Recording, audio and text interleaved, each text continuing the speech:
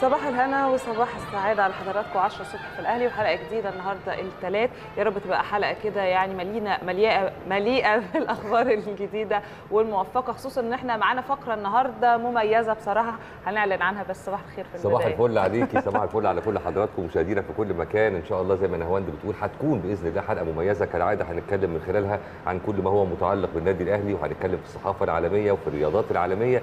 والأهم فقرة هتكون مميزة جدا إن شاء الله ونقدر من خلالها نلقي الضوء على حالة من الحالات الاستثنائية النادرة اللي في احترام وتقدير ليها من كل الناس على اختلاف انتماءاتهم اسيب نهاوند تقول لكم أنا بتكلم بتفق إيه. معاك جدا وأعتقد هي برضو أو نموذج هذه العائلة مش بس الضيفة النهارده لا هذه العائلة آه، نموذج ال- يعني زي ما تيجي تتكلم كده عن آه، التسامح أو تيجي تتكلم عن آه، الكاريزما هي العيلة دي بتمثل كده لأن هم عيلة زملكاوية ولكن الأهلي بيحبهم والزمالك بيحبهم وكل تقريبا النوادي والجمهور بيحبهم. مظبوط. عائلة قروية جدا يحيى إمام اللي كان الجد وحمادة إمام الابن والحفيد حازم إمام. كل ده حديث هيكون مطول بشأنه مع دكتورة ماجي الحلواني أستاذة الإعلام وعميد كلية الإعلام جامعة القاهرة سابقا. وهي شخصية جميلة جدا. هنرجع معاها بقى بالذكريات. وهي عملت كتاب مؤخرا ونجح جدا ومليء بقى بالذكريات والكواليس والكلام عن حازم إمام وعن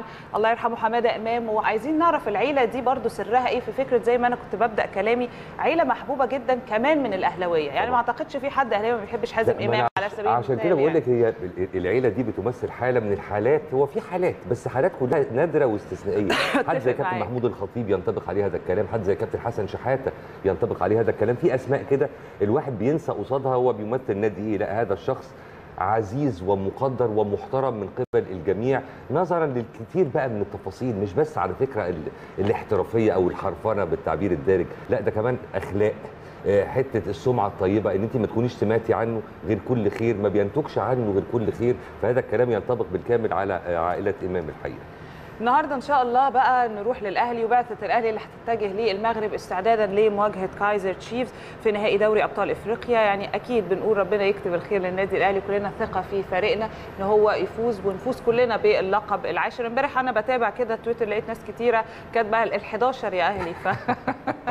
فإن شاء الله ده يحصل بس عايزين نصبر شوية وندعم ونثق في فريقنا. إن شاء الله هيحقق هذه البطولة ويرجع لنا بالعشرة. أنا كنت معتقد إن جملة ال 11 يا أهلي هتتقال بعد انتهاء المباراة وإن شاء الله ينتصر خلاص يعني في ناس لديها ثقه أنا منهم مثلاً. بصراحة أنا عندي ثقة كبيرة بإذن الله هو إحنا. عموما ربنا يسهل ويكرمنا بالعشر عشان نلحق ال 11 فعلا عشان الوقت ما يسبقناش أكتر من كده على كل الأحوال أكيد هتكون حاجة جميلة جدا إن أنت تفوز بلقب مرتين على التوالي كلنا طبعا ثقة في فريقنا وفي قدرته على تحقيق الفوز. النهارده بالمناسبة هيكون في تدريبات لفريق قبل رحلته السفر رحلته طبعا في السفر إلى المغرب. وهنتابع أكيد مع كل حضراتكم لحظة بلحظة من خلال شاشة الأهلي كافة التفاصيل. والكلام ده هيكون اولا بأول يعني مش مجرد تغطية واحدة لا ده على مدار اليوم إن شاء الله. تغطية أكيد مستمرة على قناة الأهلي. وزي ما إحنا دايما متعودين بنحاول ننقل الصورة حيه لحضراتكم.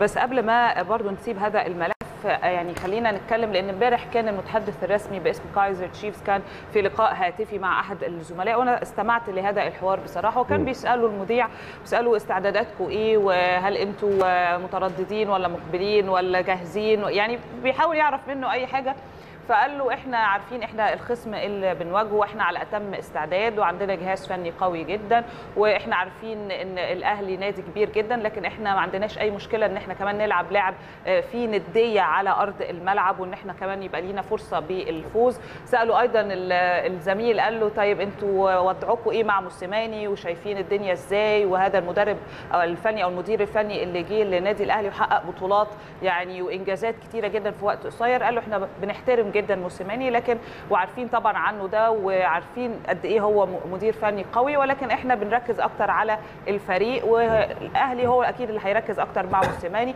وإحنا عارفين إن هو فريق ومدير فني قوي لكن إحنا برضو قد هذا التحدي. ده اللي هو قاله فده شيء على فكرة مقبول جدا و...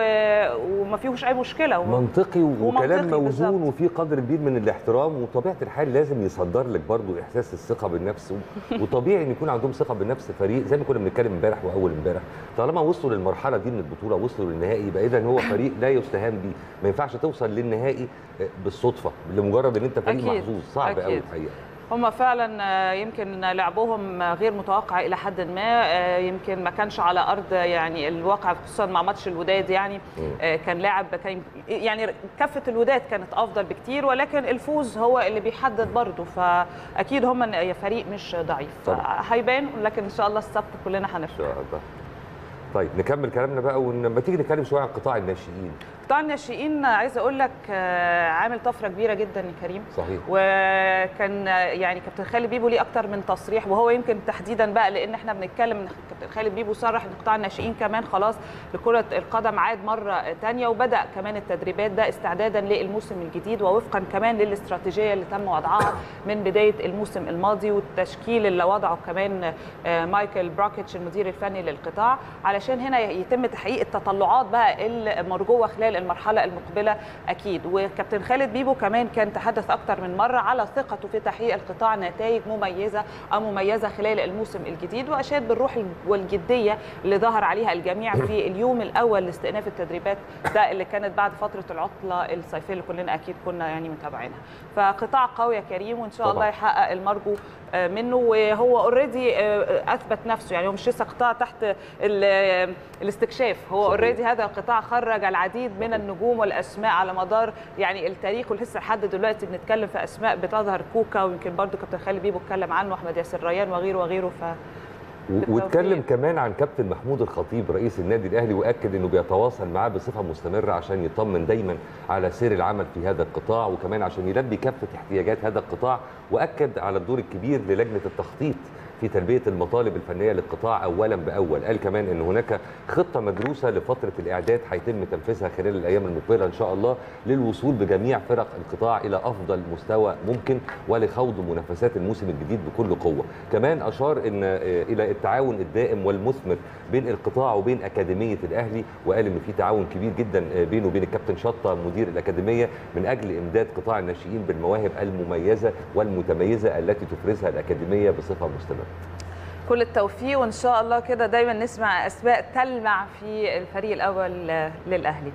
تعالوا بقى نروح مع حضراتكم دلوقتي على الاتحاد المصري للألعاب الترفيهية اللي نظم دورة الحكام الأولى في لعبتي الطاولة والدومينوس طبعا للتعريف بقوانين هذه الألعاب واعتماد أول حكام مصريين لإدارة مسابقات الاتحاد الرسمية داخل مصر ده مبدئيا. وبعد كده التسجيل والاعتماد من الاتحاد الدولي والمشاركة في المسابقات الدولية.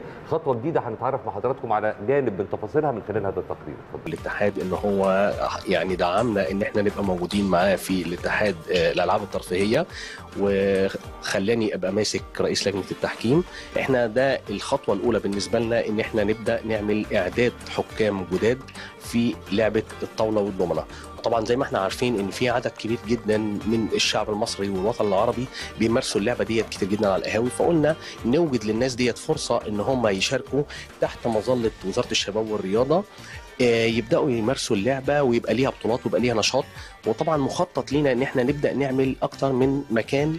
إحنا هنعمل أول حاجة منطقة القاهرة. في بعد كده نبدأ نتطرق لمناطق خط قبلي ومناطق خط بحري. طبعا كان في عوامل كتيرة آه، مهمة في أول دورة إن إحنا نعرف الأول جميع المشاركين بإيه هي أنشطة الاتحاد الهدف من نشأته إيه إيه الرؤية الرسالة الخاصة بالاتحاد المصري للألعاب الترفيهية. وركزنا في الأول على آه، أول لعبتين من الألعاب الترفيهية اللي بي بينظمهم الاتحاد المصري للألعاب الترفيهية. ضمن ست ألعاب آخرين. لكن آه، بدأنا بالطاولة والضمنه في هذه المرحلة. الفئات الموجودة سواء مثلا اطفال أو ناس كبيرة في السن اللي هم شيخوخة يكون عندهم اكسبيرينس أكتر ف... فدي حاجة كويسة من الوزارة إن هم يهتموا بلعبة زي دي. آه بس من حيث بقى إن إحنا دورتنا إن إحنا الحكام وكده إحنا طبعا خدنا قواعد كتير طبعا بتختلف كل لعبة آه عن التانية. منها مثلا زي قواعد ال- الدومينو زي بتاعة الطاولة بالظبط. آه باقي الألعاب لأ مختلفة طبعا. آه زي طبعا في اختلاف ما بين كرة القدم والسلة في كل كل لعبة ليها قوانين بتاعتها وحك- وحكام بتوعها. المركز الأولمبي أقيم لخدمة المنتخبات المصرية. ودورنا إن إحنا نقدم كل الإمكانيات لكل الاتحادات المصرية وكل الأندية المصرية آه، سواء إقامة أو تدريب أو عقد دورات تدريبية لكل المشتغلين في المجال الرياضي من إدارة أو تدريب أو تحكيم. آه، المركز لما جهز وطور روعي فيه توفير كل الأدوات اللي بتساعد العملية التدريبية.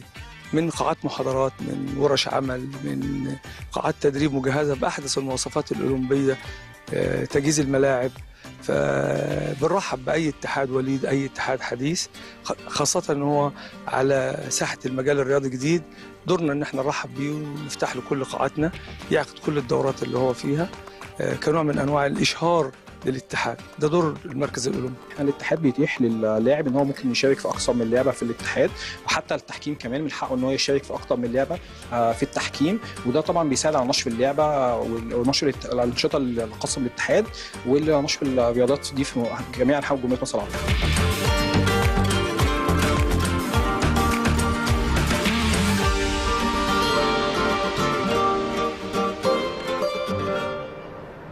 جديد موضوع الاتحاد المصري للألعاب الترفيهية ده وطاولة وبتاع. أنا أعتقد إن إحنا بالفطرة شطار كلنا في الطاولة رجالة إلا- وستات. وإلا الطاولة عند المصريين خلي بالك ده موروث مش قديم. محتاجة تدريبات من. كتر قعدات القهاوي فأنت عندك ناس حريفة. يبقى لو فتحوا باب الاحتراف في الطاولة اتفرجي القهاوي أو البيوت خلي بالك. حتى آه لما بتروح طبعاً. تزور حد في رمضان أو طبعاً. في العادي ب- صحيح. تلعب طاولة فيعني ده في رمضان في كتير من المقاهي كان زمان على الأقل. مش عارف الكلام ده لسه موجود ولا لأ كان بتعمل دورات رمضانية في الطاولة وبتبقى تقطيع. ما كلهم محترفين كل المتنافسين أيوة. حريفة.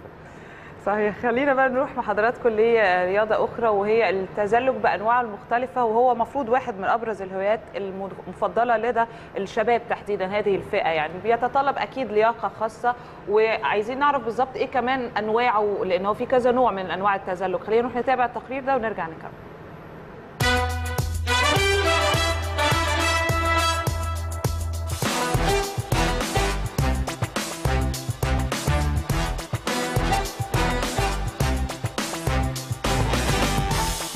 جايين هنا بنلعب رياضة مختلفة شوية عن بقية الناس. إحنا بن- بنلعب رياضة آه، خطر وفي نفس الوقت ممتعة. فدي أجمل ما في اللعبة عندنا. فاحنا بنحاول على قد ما نقدر نستغل الوقت ال- الفاضي اللي إحنا فاضيين فيه أو بنخصص وقت مخصص للرياضة دي. آه، بحاجة مفيدة بدل ما إحنا عمالين نضيع وقت في حاجات ملهاش لازمة فبننزل نحرك جسمنا ونحرك أجهزتنا الحيوية اللي جوه. هي رياضة انتشرت مؤخرا في مصر ما كانتش موجودة قبل كده أو بمعنى أصح ما كانتش منتشرة قبل كده. بدأنا نعرف بعض إن إحنا بقينا ننزل في الشارع نجري في الشارع نعمل cruising في الشارع. والناس بدأت تسألنا بقى أنتوا بتلعبوا مين؟ ده إيه؟ وبتلعبوا فين؟ وتعلمتوا إزاي؟ وهكذا. وإحنا بدأنا نساعد الناس إن إحنا نقول لهم آه، ال skate ده عبارة عن إيه وجايبينه منين وأنواعه إيه وهكذا. والله بصي هو أنا بدأت من ست شهور تقريبا. آه، أول حاجة أنت تتعلمي المشي وكده وإزاي تمشي إزاي تقعي إزاي آه، آه، تم- ت- تعملي brake والحاجات دي. واحدة واحدة بتبدأي تجري بتبدأي تتعلمي الجمبات بتتعلمي الحاجات دي كلها. أنا بدأت ال skate من وأنا عندي 18 سنة. كان هواية مع اصحابي ولقيت الرياضه مفيدة جدا. كانت كنت بهتم أنا باللياقة دايما فهي لقيتها الرياضه بتهتم باللياقة بتعلي اللياقة جدا.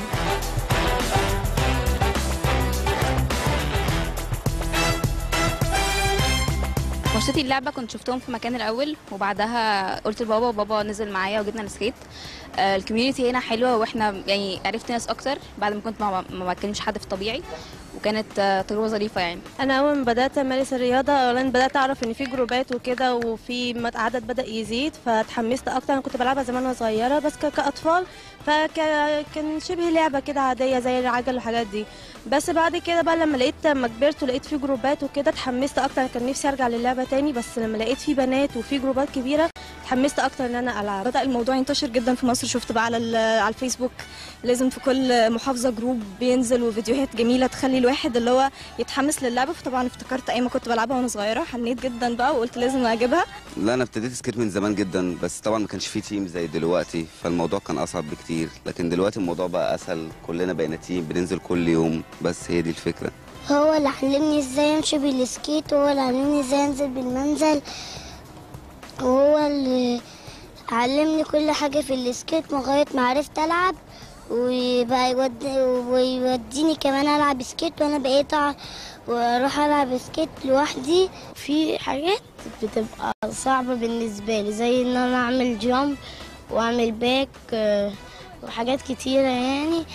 فأنا لما ببقى بلعب يعني بحاول إن أنا أعمل مجهود على قد ما أنا أقدر لحد ما أتعلم. يا أهلا بكل حضراتكم مرة ثانية عودة من جديد ل 10 الصبح في الأهلي. وتعالوا بقى عشان نتابع مع بعض آه، أخبار النادي الأهلي وكل فرقه المختلفه وكافة ما فيه من أنشطة مع زميلنا العزيز فاروق صلاح آه، مراسلنا الجميل المتواجد حاليا في مقر النادي الأهلي بالجزيرة. فاروق صباح الفل عليك وتفضل إحنا سامعينك. صباح الفل يا كريم صباح الفل يا نهاوند وصباح الخير على كل مشاهدينا مشاهدي ومتابعي شاشة قناة النادي الأهلي في كل مكان.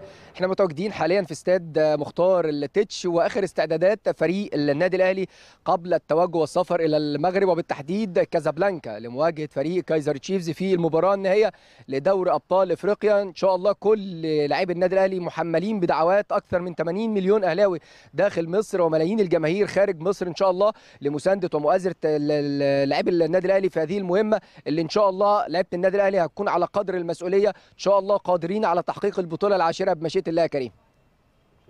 ومبدئيا كده يعني إيه إيه الكلام اللي أنت ممكن تكون سمعته مثلا لو, لو كنت صادفت أي أحاديث جانبية بين اللاعبين الحالة المزاجية الحالة المعنوية حجم الثقة؟ انعكاس ال ال ال النتائج الإيجابية اللي طبعا شفناها والأداء الممتاز اللي شفنا من خلاله لعيبة النادي الأهلي في آخر كام مباراة.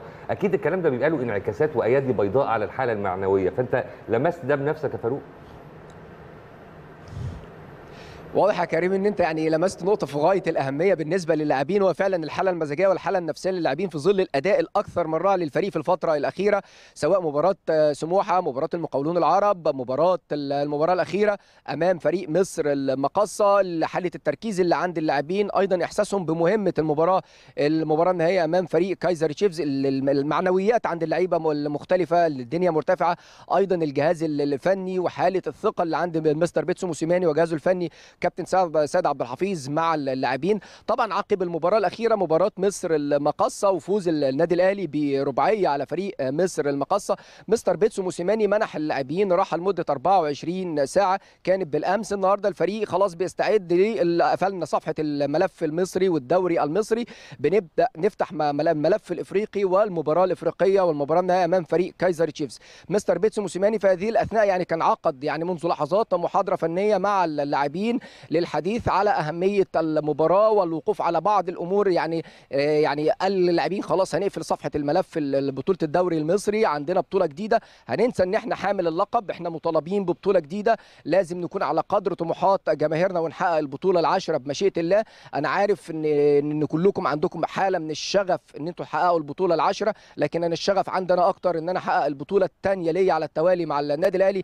طبعا على هامش هذا الأمر يعني وإحنا بنتكلم على البطولة الإفريقية. طبعا الاتحاد الإفريقي بيخطط إن شاء الله إن هو يكرم النادي الأهلي في على هامش المباراة النهائيه مباراة كايزر تشيفز اللي هتقام في المغرب بكازابلانكا لأن يعني باحتفال باليوبيل الفضي لدوري أبطال إفريقيا مع تعديل مسماه الجديد والنادي الأهلي كأكثر الأندية اللي توجت بدوري أبطال إفريقيا بالمسمى الجديد بسبع بطولات طبعا ويسبقهم بطولتين بطولة البطولتين 82 و87 لكن النادي الأهلي على هامش المباراة الإفريقية أو المباراة النهائية أمام كايزر تشيفز هيتم تكريمه على هذا الأمر. خليني أقول لك برضو يا كريم الحالة النفسية عند اللاعبين اللعيبة خلاص في حالة من الحالة المزاجية الأمور مرتفعة في تركيز شديد من اللاعبين. مستر بيتسو موسيماني زي ما قلنا بيعقد المحاضرة مع اللاعبين. طبعا هو خلال يعني اليوم الأمس اللي يعني اللعيبة أو الجهاز خدوا راحة. مستر بيتسو موسيماني اجتمع مع موسي ويوشا محللي الأداء واتفرج على أغلب الفيديوهات وأغلب الماتشات الخاصة بفريق كايزر تشيفز.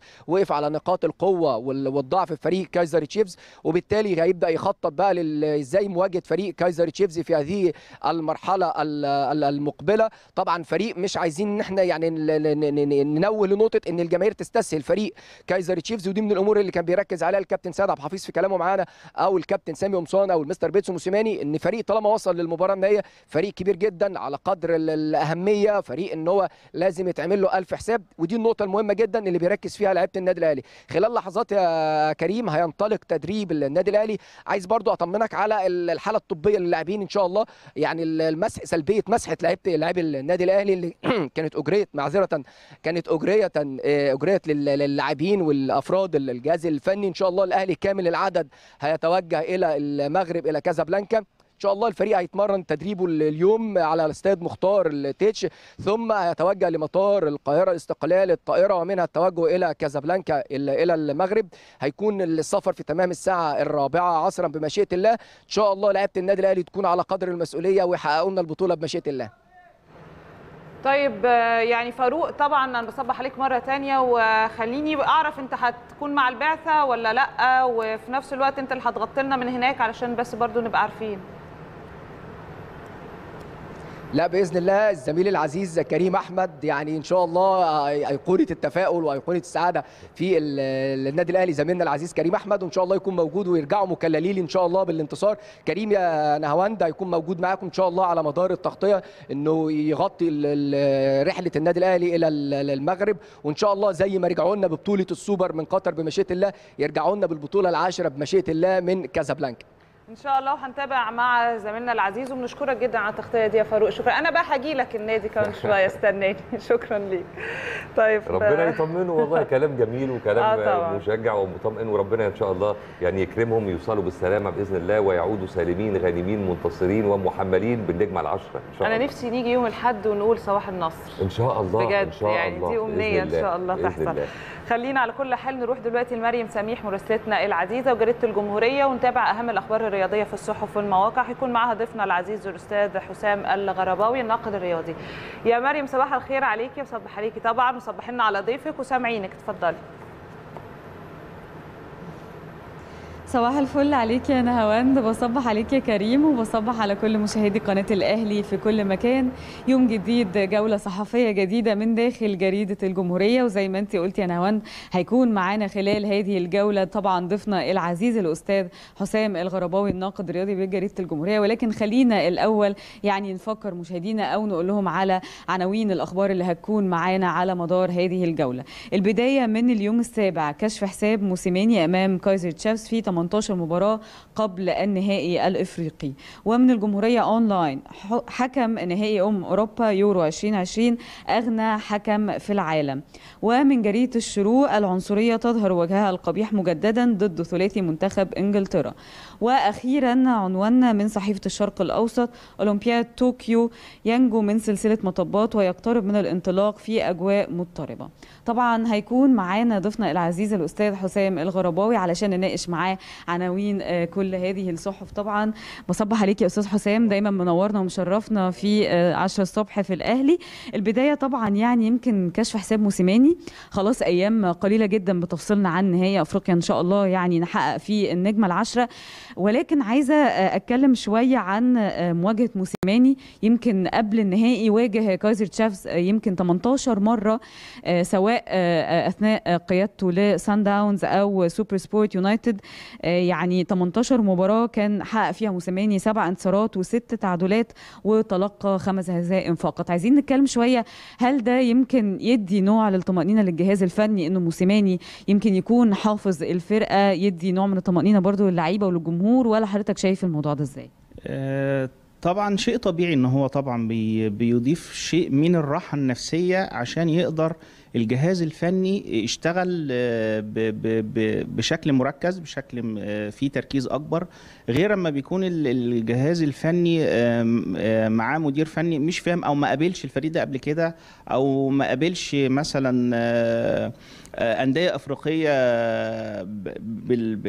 بشكل متنوع فده هيخليهم يقدروا إن هو آه، يحطوا خطة متوازنة بعد دراسة الف- ال- الفريق المنافس بشكل بشكل قوي. وهو ده بصراحة المتوفر آه، في آه، موسيماني آه، لأنه طبعا سوبر سبورت دربهم مع سان داونز وقابل كايزر تشيفز كتير فأكيد حافظ آه، طريقة اللعب. وإن كان طبعا شيء طبيعي إن مع بمرور السنين اللعيبة بتتغير بيضاف آه، طبعا عناصر جديدة. إلى جانب إن المدير ال- ال- الفني الجديد آه، ستيوارت آه، باكستر طبعا هو لسه ماسك ال- ال- الفريق آه، تشيفز آه، يعني تقريبا من شهر أو آه ما يقرب يعني الشهر الماضي. فشيء طبيعي آه، أكيد ليه أفكار تانية. أكيد ما عرفش الفريق آه، اللي معاه كويس. وإن كان طبعا أكيد أكيد يعني مثلا آه، آه، دارس اللعيبة اللعيبة اللي معاه عناصر آه، عناصر ال- اللي ممكن يعتمد عليها أوراقه الرابحة. ولكن طبعا دي هتبقى في صالح موسيماني لأن هو طبعا هيبقى مع مع الأهلي طبعا ما شاء الله يعني حقق أكتر من انتصار في في في في شهور قليلة جدا. عندنا كأس مصر البرونزية ال- آه، دوري الأبطال السوبر كل ده مدي دفعه معنوية كبيرة جدا و و- وتفوق بال بال بالعقل وبالورقة والقلم لموسيماني. ولكن طبعا كرة القدم مش عايزة يعني تعتمد على النتائج السابقة السابقة وإن إحنا آه، يبقى في شيء من ال- الاريحيه إن إحنا خلاص خدنا البطولة. هو إن شاء الله بإذن الله إحنا هنبارك للأهلي. ولكن أهم حاجة وهو ده اللي في موسيماني برضو إن هو بيحترم المنافس وبيحترم الخصم اللي قصاده وبيدرسه كويس. وهو ده اللي هيدي الجهاز الفني أفضلية وقوة بدليل إن موسيماني يفضل كتير جدا إن هو يسافر بدري عشان يبقى الأجواء وميزة أجواء المغرب كمان إن هي قريبة من مصر غير سان داونز ممكن تأثر عليه فده تعتبر في آه، كفة موسيماني إلى جانب حفظه لل- للفريق.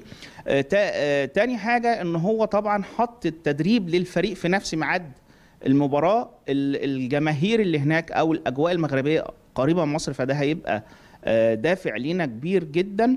آه، فده كل ده لازم إن إحنا بقى الفريق أو الجهاز الفني يستثمره بحيث إن يخرج بال بال بالفوز إن شاء الله. شرط احترام المنافس آه، إن إحنا نركز على آه، أهم العناصر منه وزي مثلا هو آه، نور آه، نور آه، فيتش اللي هو طبعا المهاجم ال- ال- ال- الفريق ال- المنافس ال- من أحد العناصر المهمة جدا إزاي إن إحنا نواجه كل ده بشكل قوي بشكل آه، يليق بمباراة هامة جدا.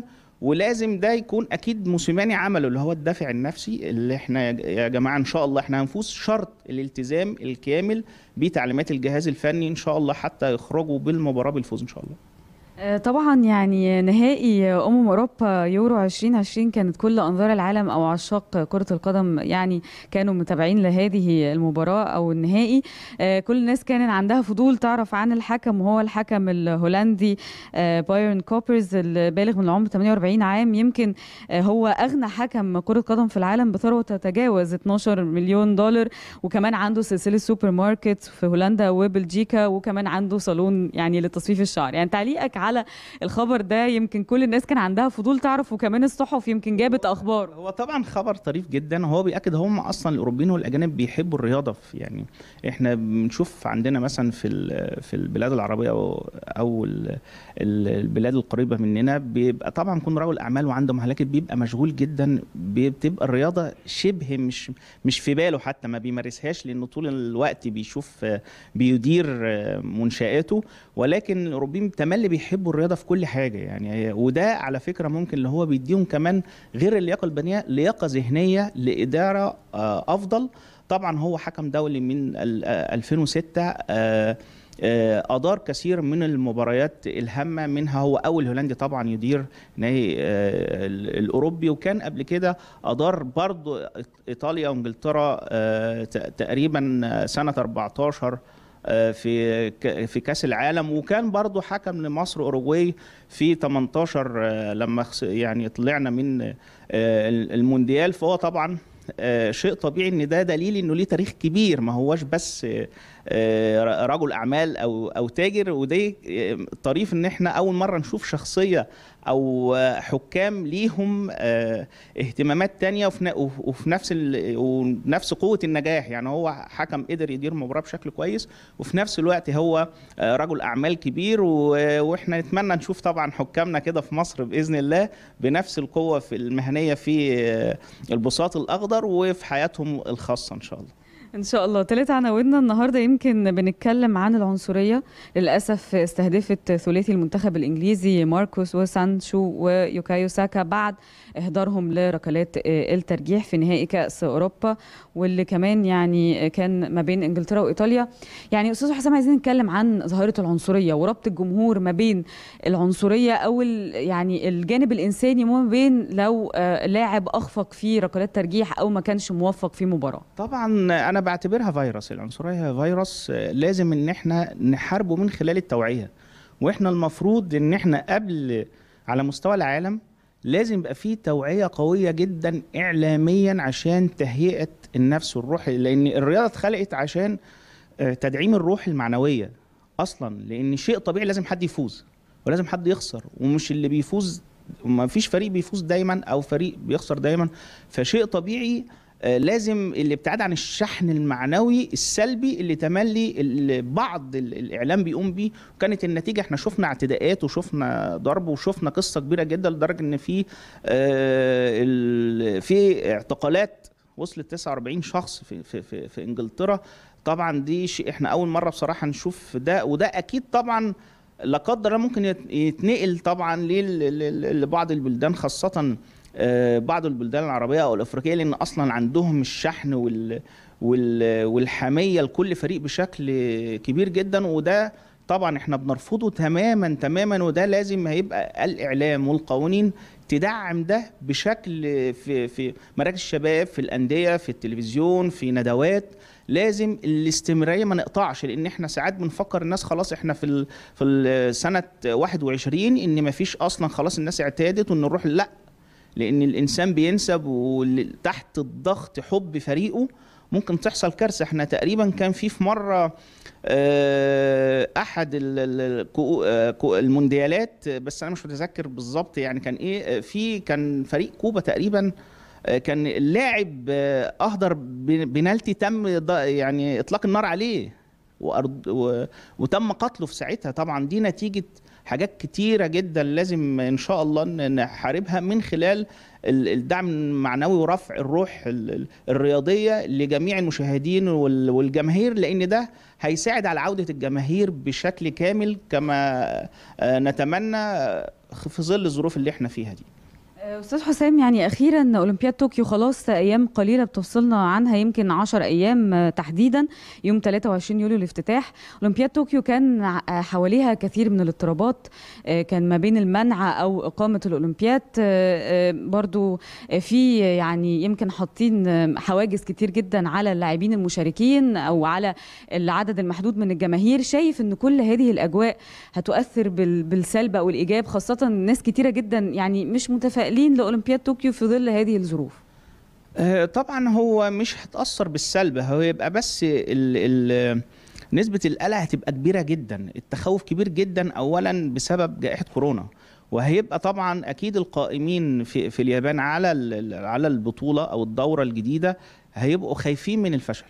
ولكن طبعا ال- ال- اليابان بلد متطور جدا. وهيقدر يواجه ده خاصة إن هم كان من بلاد يعني آه، عدد اللي اتصابوا م- آه، 15000 ما يقرب يعني. ولكن هو التخوف من حاجة إيه؟ إن هم ما زال إن مش كل الناس اللي كان المفروض إن هم يتم تطعيمهم ما فيش غير 15% تقريبا فقط لا غير. فده آه، عمل لهم شيء من من التخوف شوية خاصة إن الدورة هيبقى في ما يقرب من 70 ألف البعث البعثات كلها ما يقرب من 70 ألف فرد هيبقوا في اليابان. ولكن آه، طبعا ده هيبقى إيه اللي يهدي شوية ال- القصة إن أكيد في الإجراءات الاحترازية القوية جدا. آه، أكيد جميع البعثات تم تطعيمهم وتم اتخاذ الإجراءات الاحترازية لل- للسفر والوجود هناك. طبعا إلى جانب أكيد ال- القواعد اللي تم وضعها من خلال ما فيش هتاف ما فيش سلام الالتزام التام وهو ده اللي هنرجعه برضه للتوعية الإعلامية. المفروض إن الجميع خاصة بعثاتنا إحنا اللي المفروض ألتزم بمكاني. لأن في ناس بتفكر يعني إيه المشكلة أما أما أروح مثلا من الغرفة دي للغرفة؟ لا الغرفة ممكن يحصل كارثة ممكن يحصل حد يصاب وا- لو حد اتصاب سواء لاعب أو أحد المشجعين أو أفراد البعثات ممكن تحصل كارثة للبعثة كلها وساعتها هينهار آه، مليارات ما يقرب من 15 مليار دولار اليابان. يعني كلفت اعداد الدورة واستقبالها إلى جانب طبعا بقى بسبب كورونا إن في اتنين ونص مليار أضافوا على كاهل اليابان وهو ده من ضمن الحاجات برضو اللي كانوا بيفكروا إن هم ده هي يعني يلغوا البطولة وده بعد كمان حتى ال- الضغط الشعبي كمان كان رافض ال- القصة دي تماما ولكن خلاص يعني الأمور ات- ات- اتظبطت. وهم بيسعوا بقوة كبيرة جدا إن هم يخرجوا بالبطولة بأفضل شكل ممكن وهو ده اللي نتمناه شرط التزام الجميع بالإجراءات الاحترازيه القوية ونتمنى طبعا مصر تحقق أكبر عدد ممكن من الميداليات إن شاء الله. إن شاء الله بنتمنى التوفيق لكل المشاركين في أولمبياد طوكيو. بشكرك جدا طبعا أستاذ حسام نورتنا وشرفتنا على شاشة قناة النادي الأهلي. طبعا دي كانت جولتنا الصحفية وتحليلنا كمان لكل العناوين اللي كانت موجودة النهارده معانا من مختلف الصحف الصادرة. صباح اليوم الثلاثاء من داخل جريدة الجمهورية. بشكركم جدا. العودة للاستوديو مرة ثانية وإحنا بنشكرك جدا ومبسوطة منك عشان انت واخدة بالك الإجراءات الاحترازية برضه يا مريم شكرا ليكي على هذه التغطية وشكرا لزميلنا العزيز جدا فاروق صلاح أيضا. شكرا لكم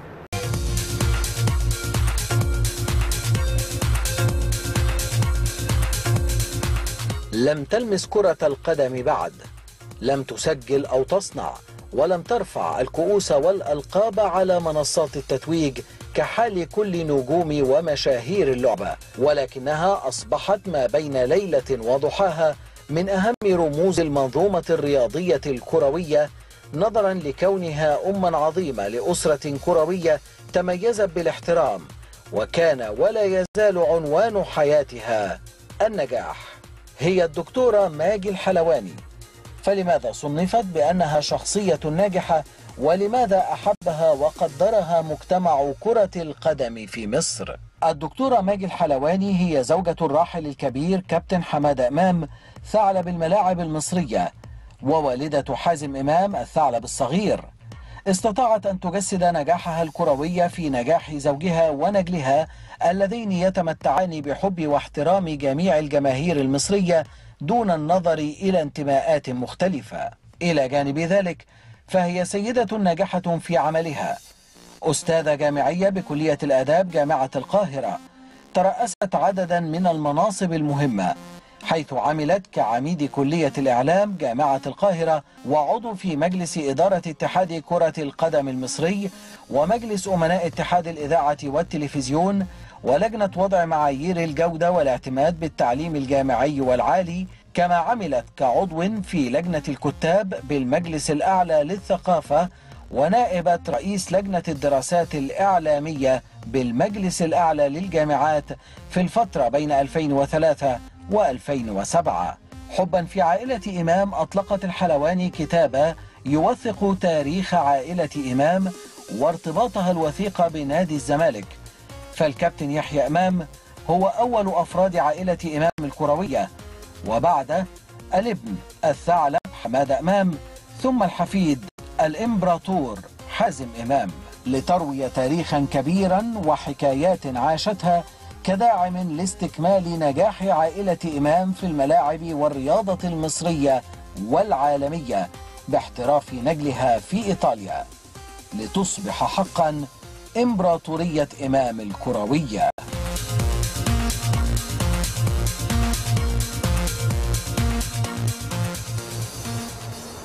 مرحب بحضراتكم ومش هنتكلم بقى كتير يمكن التقرير قال كل حاجة ممكن نقولها في الانترو لكن لسه للحديث بقية وعايزين نروح كده لتفاصيل كتيرة جدا. خلينا بس نرحب في البداية بدكتور ماجي الحلواني هذه الشخصية وهذه الامرأة زي ما اتكلم التقرير اللي هي صاحبة هذه الامبراطورية امبراطورية زملكاوية ولكن معشوقة من جميع الأندية وجميع الجماهير. حقيقي إحنا سعداء إن هي تكون معانا في قناة الأهلي. صباح الخير يا دكتور. سعيدة والله جدا إن أنا موجودة في قناه جميلة.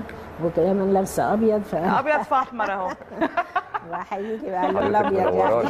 اسعدتينا بوجودك معانا النهارده أهلا بحضرتك منورة مش بس البرنامج منورة قناة الله يخليك. وطبعا يعني الكلمة اللي اترددت أكتر من مرة في حلقة النهارده سواء على لساني أنا ونهاوند أو حتى في التقرير وبطبيعة الحال كل الأهلاوية والزملكاوية عارفينها هي علاقة المودة والاحترام اللي بتتمتع بيها عائلة بل إمبراطورية إمام أيوة. من قبل الجميع أهلاوي وزملكاوي كبير وصغير ودي حالة مش بتتكرر كتير مع نجوم كرة القدم. فعلا. فعايزين نعرف من حضرتك تفاصيل هذه العلاقة المحترمة وحتى لو لو حاولنا نشخصن الأمور عشان بس نقرب وجهات النظر. ما تيجي آه. نبتدي بالعلاقة الطيبة اللي كانت بتجمع بين كابتن حازم كابتن حمادة إمام وبين كابتن صالح سليم. آه أكيد يعني فعلا حضرتك أشرت نقطة مهمة جدا ويا ريت تعود هذه العلاقات الطيبة بالذات كمان بين الجماهير يعني مهم جدا الجمهور يبقى مستوعب هذا. آه علاقة حمادة بكثير من القيادات في النادي الأهلي يعني منهم على سبيل المثال طبعا كابتن صالح سليم وكما يقال يعني إنه كابتن صالح كان دائم التواجد في نادي الزمالك لزيارة كابتن حسن حلمي وكان يتواجد لزيارة حمادة علاقة جميلة علاقة ومحترمة بين- صداقة و- بصراحة. وكان دايما يداعب حمادة يقول له عايزين حازم بقى عندنا حماده يقول له أبدا عيلة سليم ما بتجيش عيلة في الزمالك وعيلة إمام ما تروحش الاهلي يعني مداعبات جميلة كده. آه، هشير برضو العلاقه طبعا جميلة كابتن الخطيب رئيس النادي الحالي.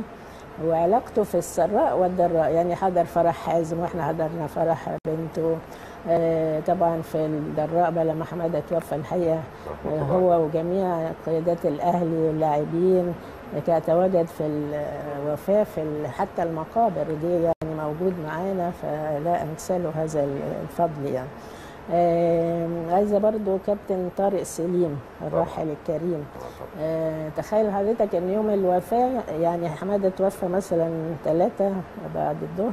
كان عندنا الساعة 4 بالكرسي ومش قادر آه، طبعاً. هو كان وحازم نزل له تحت يعني يا كابتن خلاص كتر خيرك لا يمكن طلع لغاية حمادة و- وقبل جبينه ويعني طبطب عليه وجي برضو العزاء ف يعني الرقي في الأخلاق والإحترام. آه، الراحل الكريم كابتن عادل هيكل ده كان بقى دفعتي. آه، بس إحنا حصلنا لأن هو دايما الرياضيين ساعات يتأخروا في التعليم شوية فبقينا معاه يعني. فاستعان بينا بقى أنا كنت الأولى على دفعتي فبقينا نديله بقى المراجع وال- والكتب وظل إلى النهاية يقول الفضل يرجع لماجي الحلواني هي اللي نجحتني في قسم الصحافة معانا في كلية جميل. الأداب يعني.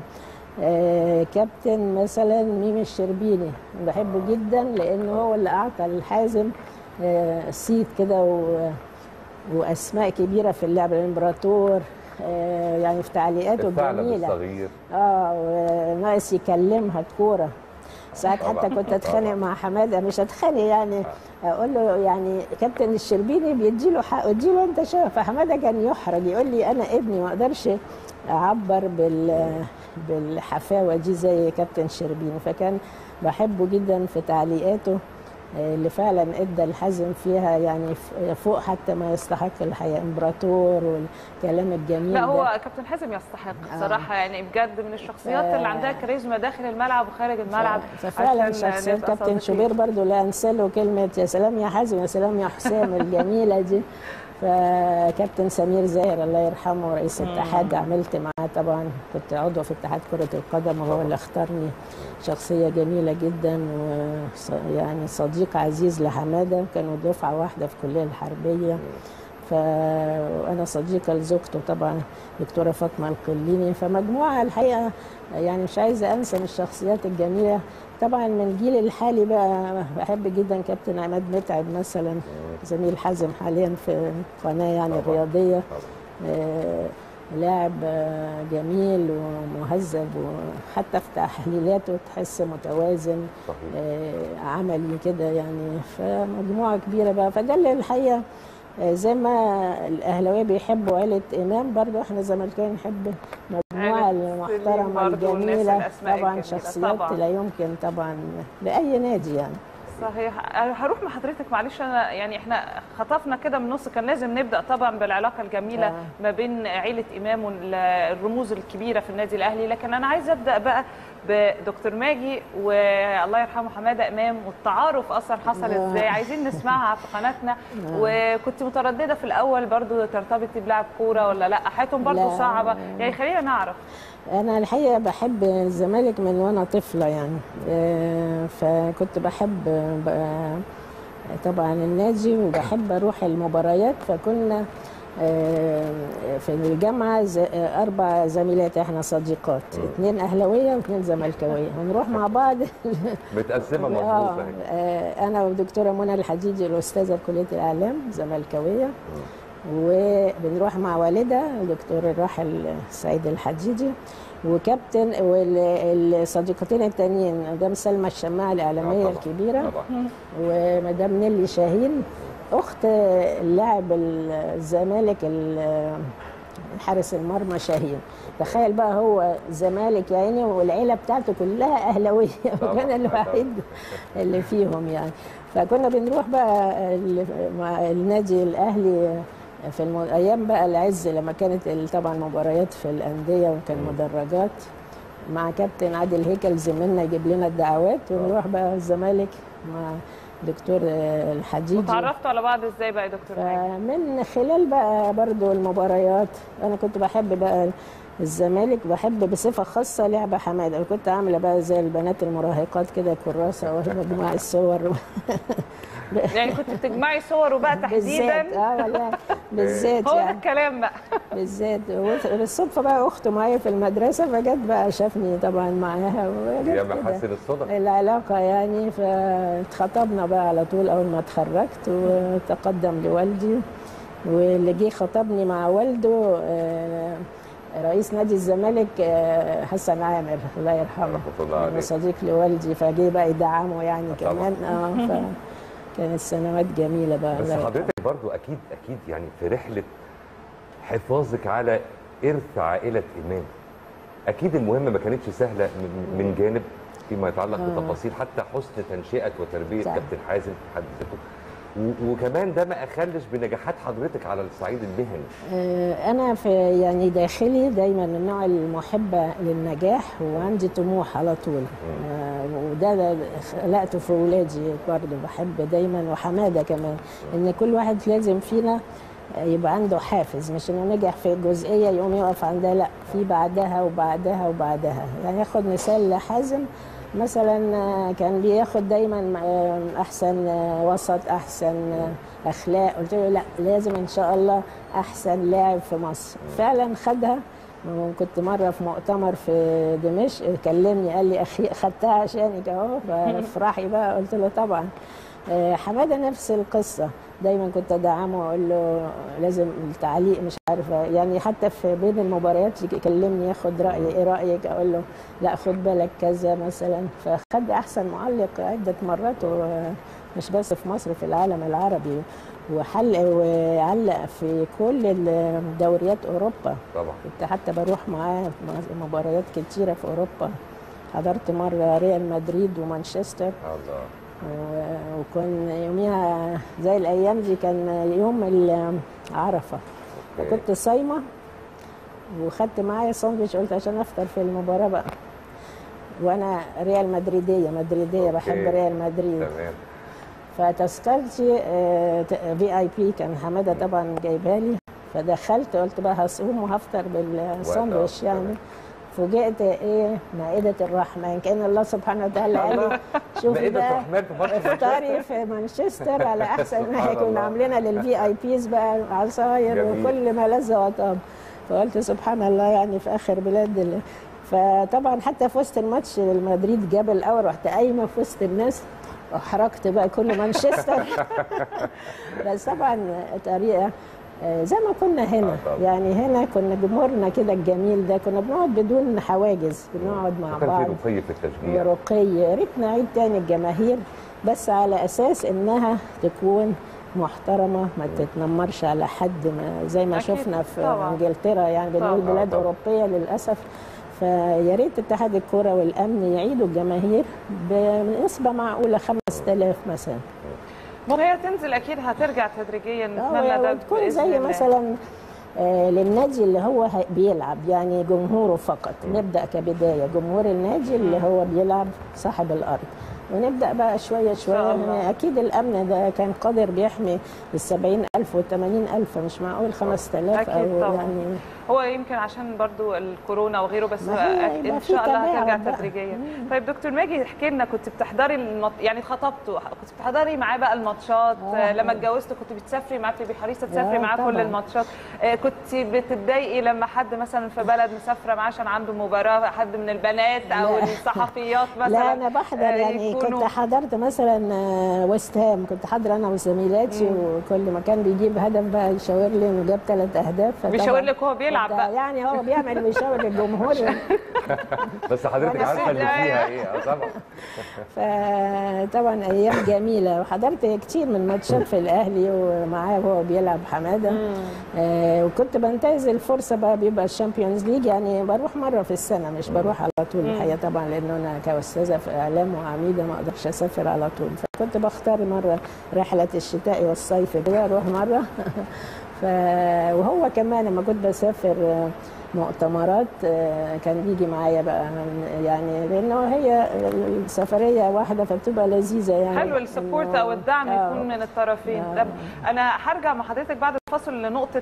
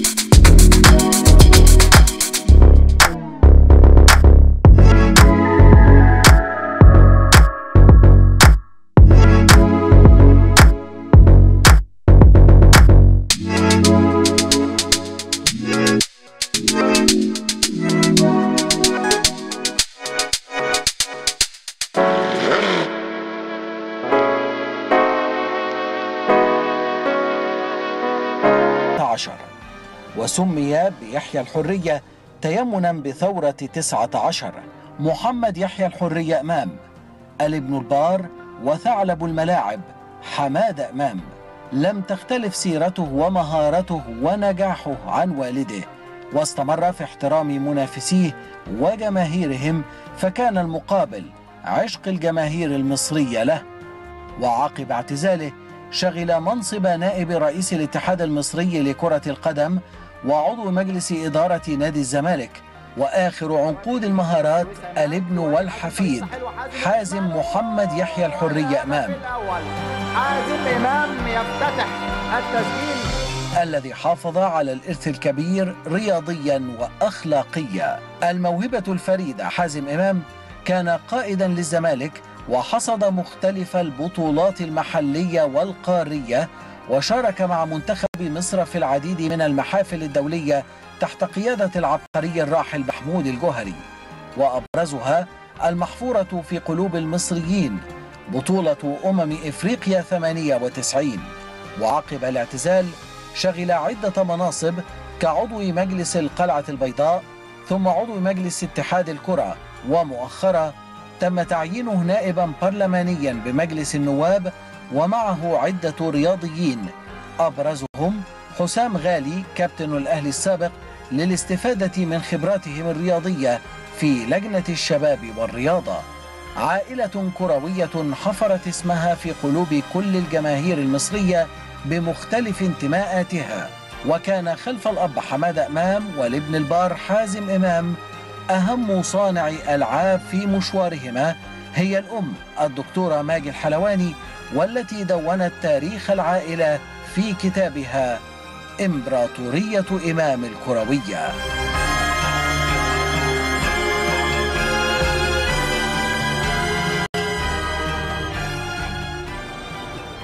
يا أهلا بكل حضراتكم مرة ثانية عودة من جديد ل 10 الصبح في الأهلي وضيفتنا العزيزة اللي منورانا ومشرفانا دكتورة ماجي الحلواني وقفنا في الكلام قبل ما نطلع هذا الفاصل عند نقطة كده ذكرتها نهاوند والنقطة دي الحقيقة جديرة جدا بالوقوف عندها بل وتأملها. لسه فاكرين؟ لا. آه لا طبعا لا. أصل خلي بال حضرتك من حاجة اللي خلى الموضوع ملفت للنظر أي زوجة لشخص مجرد إنه معروف لا تسلم من مشاعر الغيرة. ما بال حضرتك بقى لما تكوني زوجة آه، لمعشوق يعني. الجماهير وحتى الموضوع لم يقتصر عند المعجبين والمعجبات من قبل نادي الزمالك بنتكلم على مصر والعالم طبعاً. العربي. فدي محتاجة حكمة وثبات انفعالي وثقة بالنفس. هو طبعا آه، بس مش زي حازم بقى طبعا. آه ده لسه هنيجي بقى. طبعا. آه، طبعا آه، أكيد يعني الواحد لكن ساعة الجد بقى بيقول إيه هو اللي اختارني فبابا تديني ثقة كده وانتوا وصلتوا أحيانا للحظات جد؟ آه ف يعني دايما أقول موقف كان حصل مضحك يعني. كنا داخلين نشتري من أحد المحلات فالبائعه يعني حاولت تستظرف بقى يا كابتن فأنا اتضايقت بقى. فقلت له مش عاجبني حاجة خالص من إن المحل ومش شاريين حاجة من المحل. شاريين من المحل. فاشوف حاجة تانية. يعني دي من المواقف طب الوتيرة. خفت شوية مع كابتن حازم بحكم إن حضرتك بقى والدته؟ كان فعلا والله مش ب- مش بقول أي كلام. في اليوم بيجي له مش أقل من ألف خطاب وكله بقى عايزين صور. فأنا بقى طبعا عشان قلت طبعا نجوميته دي وشعبيته فعملت له صورة ووقعها هو وبقيت أبعتها بقى للمعجبات حضرتك اللي آه بتبعتيه. على حسابي بقى في الآلاف كده. وعرف هو الموضوع ده. آه طبعا كان مبسوط بقى لأنه بتيجي بقى ردود أفعال طبعا مش مصدقين إنه اهتم وبعت صورة طبعاً. يعني كل واحد بالذات البنات بقى كان تيجي هدايا بقى ورود وقلوب بقى ودباديب كل يوم. ودباديب أكيد. وعصافير والله ولسه حاجات. دلوقتي ولا خلاص بقى لا- بعد لا الجواز هي مراته كمان عاقلة جدا فبتبقى سعيدة وهم بيتصوروا تقول لهم هاتوا اصوركم أنا وحاجات كده يعني. فمراته عاقلة يعني جميل طب قولي لي برضو يعني كواليس كانت بتحصل ما بين حضرتك دكتور ماجي ويعني وكابتن الله يرحمه يحيى إمام وحمادة إمام عفوا وموقف كده مثلا كان مسافر حصل مشكلة عرفتي تتصرفي أو ما عرفتيش تتصرفي؟ إحنا عايزين نروح للحاجات اللي ما- الناس ما تعرفهاش حتى في برامج تانية ما قلتيهاش. آه. لا أنا قلتها مرة يعني بس آه، آه، هي في السفر بالذات بقى آه، كان حصل موقف آه، شديد الغرابه إنه كنا لسه متجوزين. وبعدها حمادة كان طبعا ضابط بالقوات المسلحة فانتدب للتدريس في جامعة في الجزائر آه، أكاديمية شرشال العسكرية. آه، وهو ما قاليش بقى إنه ممنوع زيارة السيدات. فأنا بعد ما اتجوزنا هو اتجوزنا مثلا قعدنا 10 أيام وسافر. ف برضه وقت اعيد حاجة كده أنا مش فاكرة بالظبط التاريخ. المهم لقيت فترة فاضية حوالي أسبوع أو خمس أيام فقلت أعمل له بقى مفاجأة وأروح إيه بعت له تلغراف أيوة. ما أدراك ما التلغراف وقتها يعني. آه طبعا. وقلت له انتظر والدي في المطار عشان هيجي يصل فأنت يعني استقبله كده. فالمهم وسافرت بقى وراحوا وأهلي وصلوني وأصحابي. كنت أول مرة أسافر بره القاهرة يعني. فافاجئ إن التلغراف ما وصلش ومحدش منتظرني. فأنا عشان بجيد الفرنسية رحت طبعا اتصرفت رحت طالبة السفارة بقى طبعا في دفتر التليفونات وقتها. آه التلغراف وصل بعدية مثلا بأسبوع. آه حاجة يعني ربنا آه، يخلي كان كده. الموبايل دلوقتي يعني. طبعا بس الواتساب أسهل في ساعتها. فالمهم بقى اتصلت بالسفارة فطبعا قالوا لي هنبعت لك عربية وهم النهارده أجازة فموجودين في هي شرشال كأنها الإسماعيلية كده على بعد. فقال لي هم موجودين في الجزائر العاصمة. هياخدك بقى وتلفي الأماكن اللي بيقعدوا فيها. ف... ده بتدوري عليه؟ حضرتك انت مش عارفة هو فين فين أصلا. بقى ما فيش تليفونات. طبعا آه، طبعاً. ولا موبايل ولا حاجة. فقعدنا فين بقى؟ وصلنا. المهم فضل بقى باصص لي بقى. يعني مش مصدق. هو طبعا جواه كارثة لأنه ممنوع زيارة السيدات طبعا في الجيش حاجة صعبة طبعاً، جدا. طبعا. فريق فوزي بقى كان قائد قوي يعني طبعا شخصية قوية. فهو يعني مش عايز مش عارف يفرح ولا يزعل ولا ياخد جزع ولا ولا يتصرف إزاي؟ طيب في. الموقف ده. فطبعا اضطر كان معاه في نفس الشقة مع كل اتنين في الشقة. كان وقتها المشير طنطاوي بس طبعا كان مقدم يعني. فساب طبعا الشقة عشاني. و وزو- وزوجات بقى كل طبعا الضباط قالوا اشمعنى مرات حمادة؟ واشمعنى ف... فجم بقى. فالفريق لا ما يقدروش يجوا طبعا. الفريق فوزي بقى وافق يعني. فقلت لهم طب كويس أنا فتحت بقى الطريق. يلا. فيكي حتة جراءة برضو دكتور ماجي كانت؟ مفاجأة. آه آه أنا أحب كده أعمل مفاجآت. هنرجع مع حضرتك للنقطة دي بس خلينا بقى معانا على التليفون كابتن طيار أشرف إمام نجل آه، الكابتن حبيبي. حمادة إمام طبعا ودكتور ماجي. صباح الخير على حضرتك يا كابتن. صباح النور. ازي حضرتك؟ أهلا وسهلا. أهلا بيك. سعداء جدا اولا بوجود دكتور ماجي معانا حقيقي وزي ما كنت بقول لها وزي ما كلنا عارفين يعني عائلة زملكاوية ولكن كلنا بنحبكم. فالسر السر فين برضو يا كابتن أشرف؟ ربنا يخليكي طبعا. أنا أول حاجة بشكر حضرتك طبعا على اللقاء مع الوالدة ودي حاجة جميلة جدا من النادي الأهلي وروح جميلة جدا. يعني بصراحة الواحد مبسوط منها جدا وطبعا ده ان دل على شيء يدل على بصراحة حب يعني حتى جمهور النادي الأهلي للوالد الله يرحمه. طبعا. وط- وطبعا يعني كان ليه ذكريات معاكم ومع النادي الأهلي كانت جميلة جدا. منها طبعا إذاعة المباريات زي ما حضرتك عارفة وتفاؤل جمهور النادي الأهلي وجمهور مصر بماتشات الأهلي مع إذاعة بابا الله يرحمه. بالظبط. ال- وكان هو كل القنوات ساعتها كانت بتحرص إن في ماتشات الأهلي النهائية أو المهمة إن بابا يذيع يذيع الماتشات بتاعة الأهلي. بالذات، آه. وهدي لحضرتك أمثلة مثلا زي ماتش الأهلي وريال مدريد لما الأهلي كسب واحد بابا كان هو اللي ذايع الماتش الأهلي وصفاقه الجون بتاع أبو تريكة بابا كان هو اللي ذايع الماتش. وماتشات تانية بقى كتير آه، يعني مش فاكرها دلوقتي. فهم بصراحة كان جمهور النادي الأهلي وعشاقه كانوا دايما بيتفائلوا بوجود بابا في إذاعة المباريات يعني. هو كان بيذيع المباريات وبشكل احترافي يعني تحس إن هو شخص لا زملكاوي هو شخص محترف بيذيع وبيفرح للجول الحلو للأهلي. فعشان كده يمكن كانت تركيبة برضو جميلة يعني. طبعا هو يعني حضرتك هو من الناس اللي هو هو مش متعصب يعني طبعاً. بيحب الكرة الحلوة. يشجع الإسماعيلي يشجع المقاولين بيشجع الأهلي أي فرقة بتلعب باسم مصر فعلا هو بيشجعها. صحيح صحيح. وكان دايما مهتم بالماتشات اللي هي ال- اللي في القمة يعني مثلا النهائي وكده خصوصا ماتشات الأهلي أو الزمالك ويبقى يذيعها وبيحضر المباريات ويجمع معلومات. وطبعا الحاجات دي كلها بقى يعني إيه بانت في حب الناس ليه بصراحة. يعني أنا ما كنتش متوقع كده.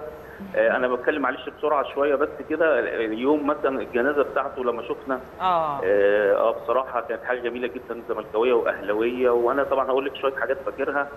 يعني يوم وفاته في في المقابر يعني وإحنا بن- بندفنه كان كابتن خطيب كان واقف معانا. كابتن آه، مختار مختار كابتن ربيع ياسين.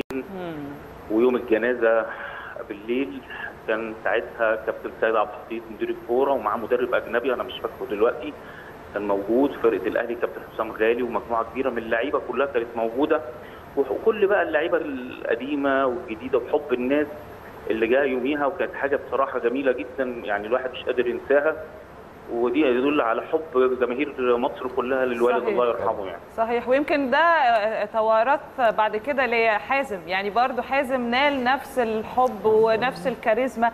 ده باين جدا في الملعب وخارج يعني داخل الملعب وخارج الملعب. بس أنا عايزة أروح معاك كابتن أشرف. آه، أنت كنت بتلعب كورة وأنتوا صغيرين وبعدين بطلت واتجهت بقى لطريق تاني. برضو ليه ما حبيتش تكمل في الكورة؟ والله أنا لعبت لغاية سن 17 18 سنة في الناشئين وبعد كده بقى اتجهت للطيران. وبعد كده يعني كملت تاني بقى في نفس الطريق اول لغاية سن 24 واعتزلت بقى خلاص يعني ما شغلي طبعا خدني من الموضوع ده خالص وخلاص يعني بقيت بقى متابع جيد لكل المباريات وكل الماتشات وكده يعني بس. بس إحنا كسبنا في المقابل كابتن طيار أيوة. متميز. اولا بصبح على حضرتك وتحياتي ليك. وبرضه. عايز أستأذن حضرتك في, في, في سؤال كنت توجهت بيه آه، للوالدة دكتورة ماجي وبقول لها إن المهمه أكيد ما كانتش سهلة إن هي تحافظ على إرث عائلة إمام. فإحنا عايزين نعرف بقى رؤية حضرتك يعني وجهة نظر الابن. كيف كانت أو كيف هي آه، دكتورة ماجي الحلواني كأم؟ آه طبعا هي الدكتوره ماجد حلوان طبعا يعني كأستاذة جامعة طبعا هي معروفة. طبعا. مش هنتكلم في الموضوع ده كتير طبعا ليها تلاميذها وعارفين طبعا يعني تاريخها لكن هنتكلم بقى كأم هي أم بقى هي ابتدت تعمل حاجة لسه بتتعمل دلوقتي بنشوفها مع أولياء الأمور. هي من زمان جدا وهي متابعانا أنا وحازم في الكورة. سواء في نادي الصيد أو في نادي الجزيرة وتابعت بعد كده مع حازم في نادي الزمالك في ماتشاته كلها بتسجل له ماتشات ماتش ماتش في الفيديو. وتقعد تحلل له المباريات. كل ده يعني هي اللي بتحلل معلش نقف يعني كابتن أشرف هي اللي كانت بتحلل المباريات كمان. آه طبعا تديله تعليمات لما لا، يرقص بسجله آه، المباريات. بسجله الأول المباريات واكتب له بقى عليها المباراه كذا حازم لاعب ممتاز.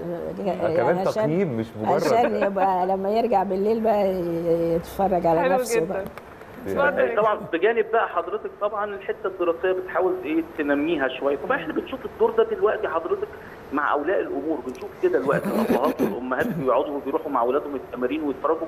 الكلام ده ما كانش زمان موجود. هي أول واحدة من أوائل الناس اللي ابتدت الموضوع ده. آه مش بتروح التمارين وكل حاجة بس اهتمام بزيادة الاهتمام بالتفاصيل الاهتمام بمثلا بحازم في المعسكر بتمارينه باكله بشربه بالكلام ده كله بجانب بتحاول توفق ما بين الحتة اللي هي الدراسية اللي هو يعني يبقى فينا يعني إيه نجاح ما بين الاثنين يعني زي ما بيقولوا يعني. جميل. جميل جدا. على كل حال يعني إحنا نورتنا في المكالمة دي بنشكرك جدا كابتن أشرف. الله يخليك. ميرسي جدا. وسعداء مرة تانية هكررها بوجود والدة حضرتك معانا. يا تقولي أي حاجة ولا؟ لا، يعني متشكرة على الكلام الحلو ده اشوفه بقى. وحضرتك طيب نورتنا وشرفنا بوجود حضرتك معانا. وعودة بقى الدكتورة ماجي أيوة. وطالما بقى بنتكلم على آه، فكرة ال- ال- الحياة العسكرية اللي تقريبا كابتن حازم هو الوحيد اللي إيه آه. يعني شت عن. السرب إنجاز هو اللواء يحيى أمام كمان لواء آه طبعا. ما أنا عشان كده بقول لحضرتك هو الوحيد بقى اللي فلت من الحياة العسكرية هو كابتن حازم. بس أنا عايز أرجع للحظة كده معينة برضو نعرف حضرتك مرت عليك اللحظة دي إزاي؟ اللحظة اللي عرفتي فيها إن كابتن حمادة سيشارك في حرب أكتوبر. هي يعني طبعا فترات صعبة لأن كل حياة الجيش الحقيقة فيها صعوبات دايما طبعا تدريبات وسفر على طول بيبقوا مش متواجدين. يعني أنا في أشرف ما كانش متواجد حمادة. آه. وحازم يعني تقريبا نفس الشيء. دايما في عندهم دايما آه تدريبات وسفر و- وبعدين في النهاية حمادة كان في المخابرات العسكرية. فبرضه يعني عملية مهمة وشاقة. لا وبالذات في الفترة دي كمان بصفة آه خاصة يعني. فهو طبعا عشان مش متواجد على طول زي ما قال أشرف كنت أنا بقى اللي بروح معاهم التدريب وأقف وأتابع وأوصلهم بالعربية وأرجع. طبعا لسه صغيرين. آه بس المخاوف بقى على الزوج اللي هيشارك في حرب.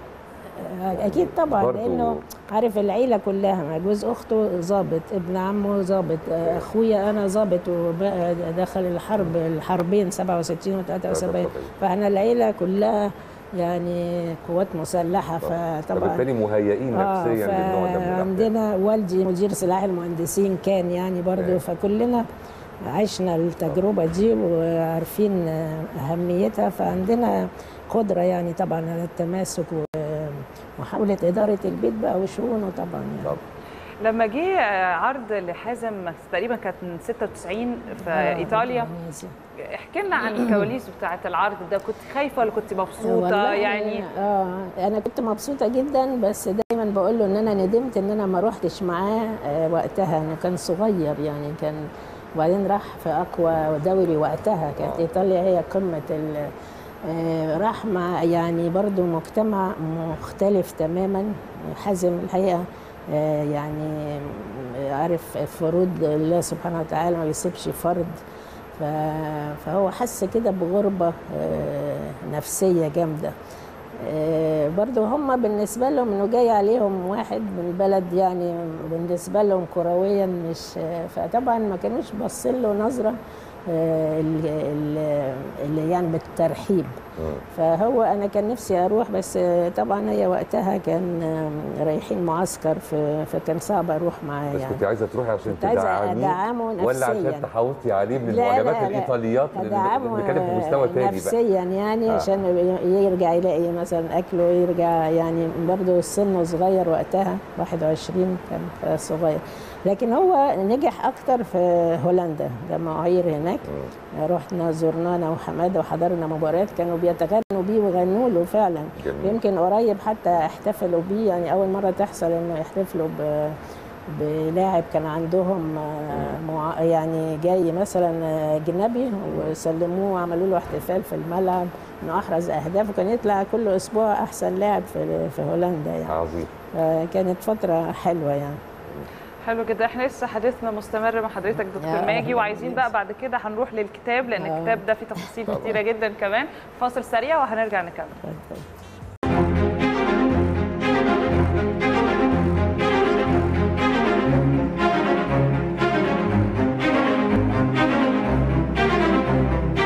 أن عائلة إمام من أيام يحيى الوطن ده الراجل الكبير كان جول مصر.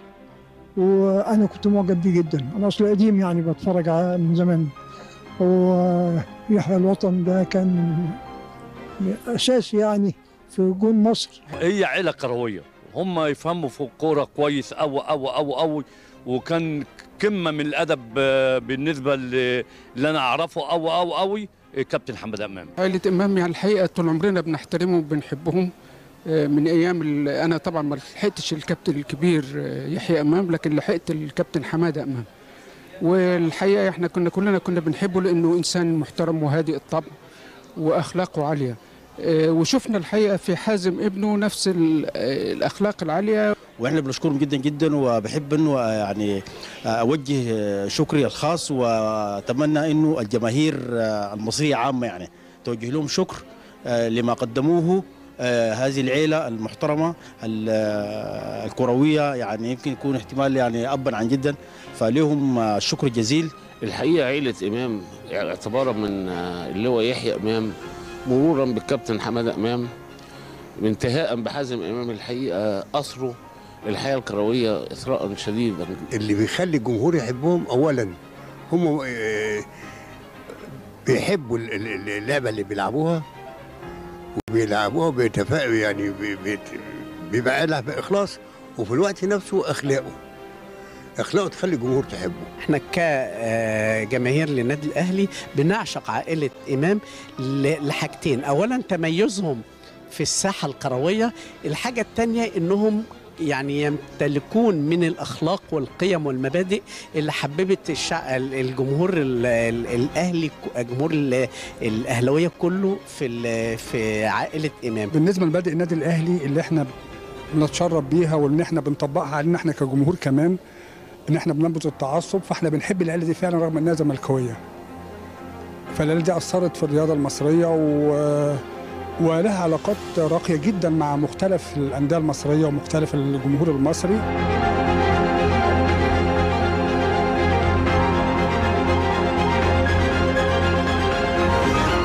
اللي شفناه من خلال هذا التقرير واللي طبعا بطبيعة الحال حضرته معانا دكتورة ماجد حلواني ده جانب صغير جدا يكاد يكون لا يذكر من المحبة الكبيرة اللي في قلوب كل الاهلاويه لآل إمام بشكل عام.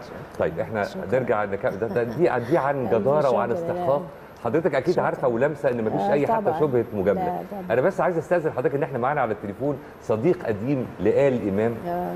معانا على التليفون دكتور طه إسماعيل آه. نجم النادي الأهلي السابق. طبعاً. صباح صباح الفل على حضرتك يا دكتور طه. الفل يا كريم. إزاي حضرتك؟ سعداء ومتشرفين بوجود حضرتك معانا و... وطبعا منورانا زي ما حضرتك أكيد بتابع دكتورة ماجد أهلا حلواني. وسهلا كابتن طه إزيك؟ أهلا صباح الفل يا دكتور. ازي أهلا وسهلا ازي حضرتك؟ ربنا يبارك فيك. أهلا وسهلا يا مرحبا. إحنا عارفين إن في منوره الشاشة والله. إن في تاريخ من الصداقة والمحبة والأخوة يعني بين حضرتك وبين آل إمام بشكل عام. خلينا نعرف من حضرتك ولو جانب من تفاصيلها بعد إذنك. والله طبعا هي هي عائلة عريقة جدا بدءا من المغفور له آه، يحيى إمام والد حمادة ثم حسين إمام الحكم ومحمود إمام كان حكم أيضا. الناس كلها عيلة كروية عظيمة جدا. وحمادة يمكن يعني التقينا هو حبيب ليا ويعني آه، تزاملنا في المنتخب وتزاملنا في مباريات الاهلي والزمالك آه، ضد توتنهام. وفي نفس الوقت كنا نتنافس يعني هو في نادي الزمالك وأنا في النادي الأهلي نتنافس في تسجيل الاهداف آه، حمادة كان لاعب موهوب. موهوب يعني خلاق عنده داخل منطقة الجزاء عنده آه، بديهية عظيمة جدا ويخطف أهداف جميلة جدا ويمكن آه، الناس شافت مباراة ويست هام ونادي الزمالك سجل فيها أهداف عظيمة جدا. ومباراة توتنهام حتى اللي إحنا تزاملنا فيها الأهلي الزمالك آه، سجل هدف عظيم جدا وعمل لي الهدف الأولاني. هو مرر لي الهدف الأولاني. تربطني بيه علاقة جميلة. جدا. حمادة آه، الله يرحمه كان مرح جدا وحبوب مع الناس كلها. يعني طول ما هو بيقابل ناس على طول بيكلم ناس باش وجهه باش وينكت وحاجات عظيمة جدا خلت يعني ان له محبه في قلوب الناس كلها محبة كبيرة جدا.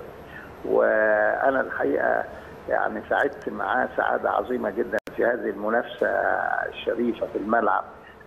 في تسجيل الأهداف وفي لقاءاتي معاه شخصيا آه، كنت بستمتع بهذه اللقاءات مع شخصية عظيمة مرحه عظيمة جدا وعنده ذكاء كروي كبير جدا. إحنا وإحنا بنتكلم يا دكتور طه. أيضا في الإذاعة آه، إذاعة المباريات وكان يعني له سمة معروفة جدا وكان دايما من خرم إبرة لجوال اللي طبعا لما جاب أمال هو لقب بالثعلب مش من فراغ اللقب ده. وإحنا بنتكلم مع حضرتك شفنا صورة بتهيألي مفيش أبلغ من كده.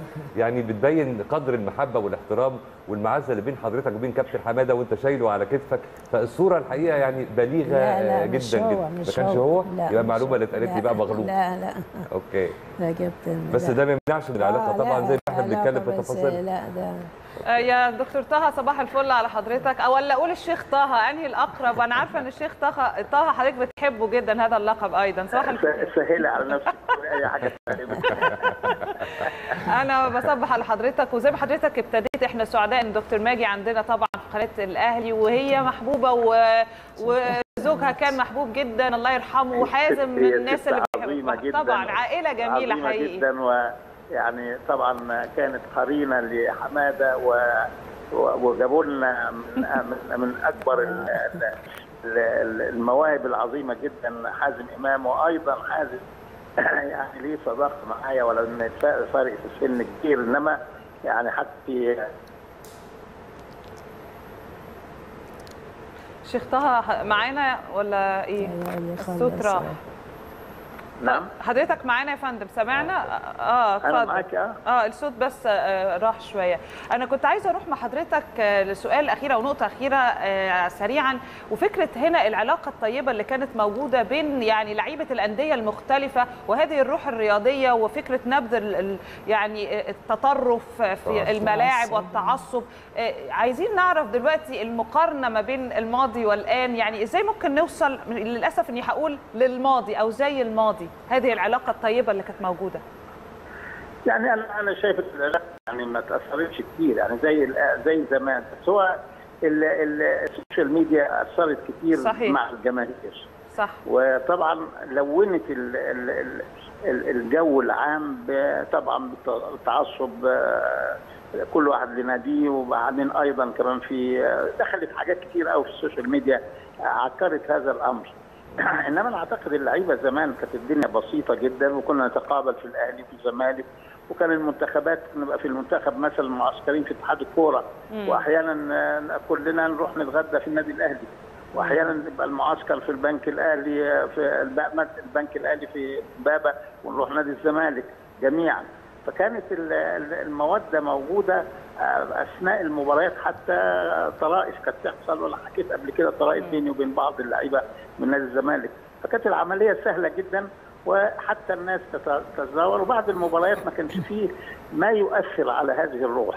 هو يمكن آه على مستوى الجماهير فعلا هي اللي اختلفت شوية دكتور طه. هي على مستوى الجماهير شوية والسوشيال ميديا زي ما حضرتك بتقول فعلا هي اللي أثرت. نعم.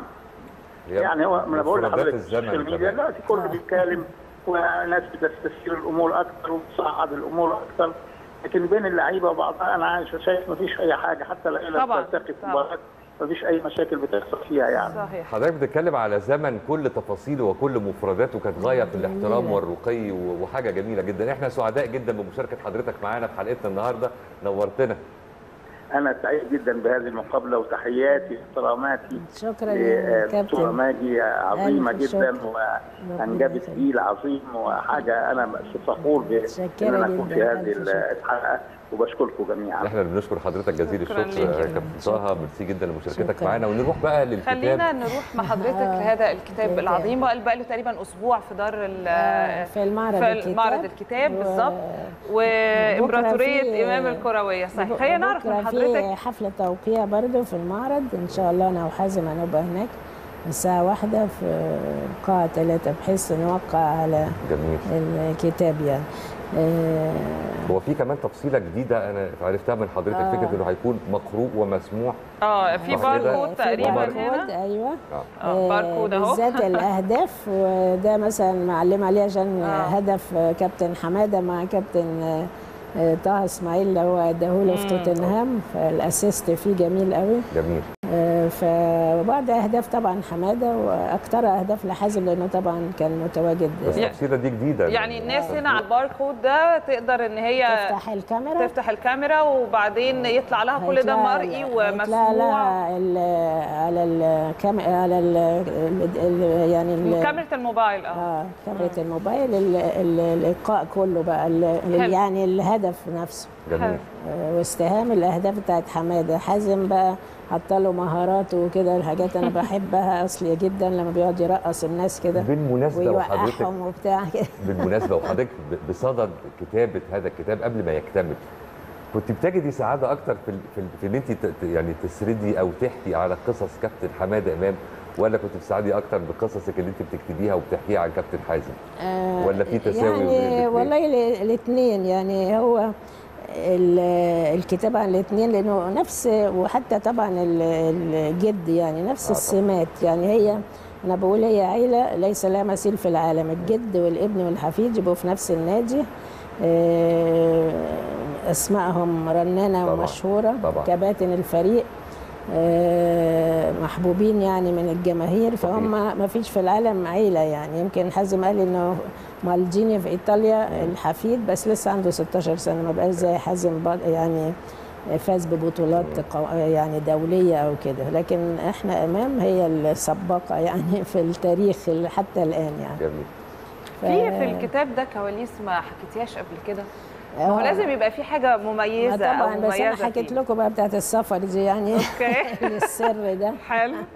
في طبعا حاجات الناس ما تعرفهاش يعني حازم بقى وهو صغير و- وحاجات كده لذيذة يعني.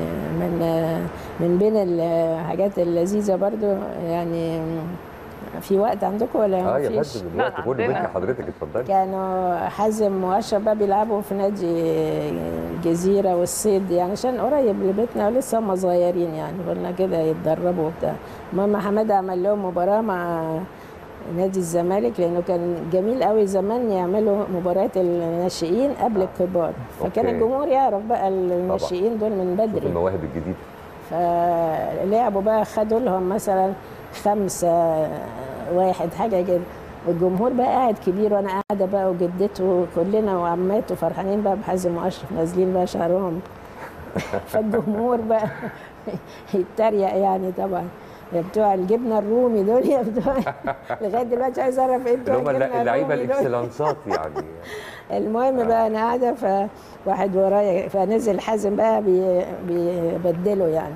نزل قزع بقى كده مش عارفة سبع سنين حاجة كده. فاللي ورايا بيقول قال يعني بقى هيجيب الجيب من ديله بصيت له أيوه هيجيب طبعا الجيب لما تشوفه بس. فكانت حاجات لذيذة بقى كده. طبعا. كنت بحضر يعني دايما معاهم هم صغيرين بقى. آه، مرة برضو جالنا في نادي الصيد كنت واقفة برضو. كابتن آه، آه، عبد الصمد. كان بيروح بيكتشف الفرق الناشئين يعني. هو حتى خد كابتن هشام حنفي من نادي الصيد برضو. أوكي. فكان بيقول لحازم على إنه يروح. قلت له لا ده إلا ده ما فيش هنا ده تبع الزمالك. كده فبتبقى مواقف لذيذة يعني. طبعا طبعا. جميل. الحقيقة يعني إحنا كل حاجة بتؤكد إن إحنا بنتكلم أو اتكلمنا في حلقة النهارده عن عائلة استثنائية بكل ما تحمله الكلمة من معنى. ربنا يديم عليكم يا فندم محبة الناس وتقديرهم. واحترامهم. دي حاله مش بتتكرر كتير. مش قادر أقول لحضرتك إحنا سعدنا إلى درجة بجد والله يعني وكان يوم جميل ولقاء جميل. وجودك إن شاء الله تاخدوا العشرة بقى. من كده يعني إيه؟ بإذن الله. لا بإذن الله. ومزيد من التألق بقى عايزين الأحفاد قبل ما نخ... يعني نختم بس أسألك عن الأحفاد. آه. مفيش أحفاد آه، ولاد لا خالص ها؟ للأسف آه، مش للأسف طبعا هم أجمل ما حاجة. ثلاثة كانوا هياخدوا نفس ثلاثة آه، كان نفسنا يعني في حميد آه، حفيد يكمل المسيرة بس بس بنت حازم بقى الصغيرة آه آه، بتلعب فوتبول وشويتة شمال كمان رجلها الله. حلو الشمال جدا. فده هي زي القمر كده وقلت لها بقى الجمهور هيجي عكسك مش هيشوفها على لعب كده بس ده يتفرج عليك انت. ممتدة للدرجات دي ما شاء الله.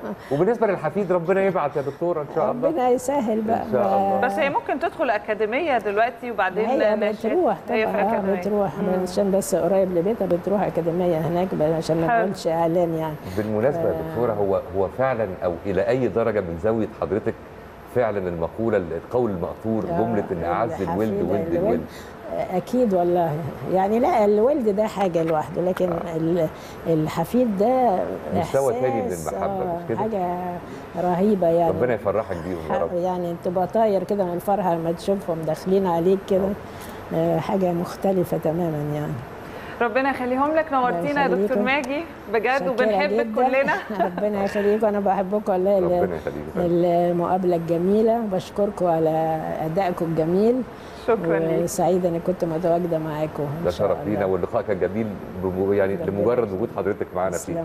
نورتينا شكرا شكرا. جزيلا شكرا. لحضرتك طيب إحنا بس هنستأذن حضراتكم قبل ما آه، نختم معاكم الحلقة ما نروح مرة ثانية لزميلنا العزيز فاروق صلاح عشان برضو نعرف منه آخر المستجدات. فاروق أهلا بيك مرة ثانية اتفضل. أنا بقى خلاص. من جديد كل التحيه ليك يا كريم كل التحيه ليك. أنا هواند طبعا برحب بالدكتورة ماجي الحل- الحلواني طبعا وعايز أبارك لها على إصدار كتاب عائلة إمام ال- ال- الكروية. طبعا عائلة ليها بعد طويل جدا في كرة القدم المصرية. لكن خليني أقول لك يا كريم بقى إحنا بنتكلم على آخر استعدادات فريق النادي الأهلي إلى السفر إلى المغرب لمواجهة فريق كايزر تشيفز في المباراة النهائية لدور أبطال إفريقيا. يعني خلينا من ضمن الأخبار الحصرية لينا من خلال قناة النادي الأهلي اكد لك على سلبية مسحة جميع أفراد بعثة فريق النادي الأهلي المستعدة للسفر إلى المغرب إلى كازابلانكا.